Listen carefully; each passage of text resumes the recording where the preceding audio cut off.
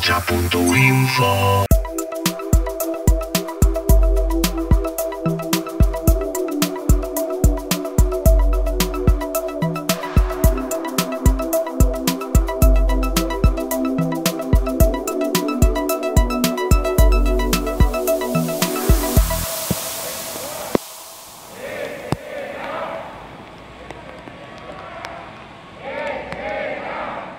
Gaur abenduak amar, giza eskubideen nazioarteko eguna ospatzen da. Horregatik, aurreko urteetan bezala, preso politikoen senideak, lagunak eta gertukoak espetxe politika berezitua, salbuespenezkoa eta funtsean eskubideak urratzen dituen asalatzeko bildu gara.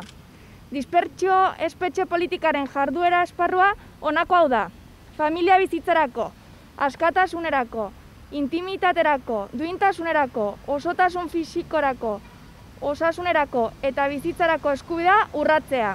Horren ondorioak ez dira mingarriak soilik, itzulezinak baizik.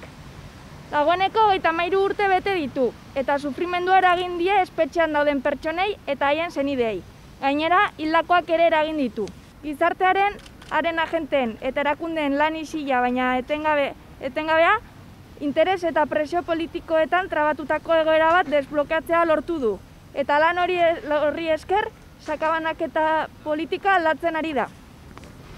Arrisku maila handia.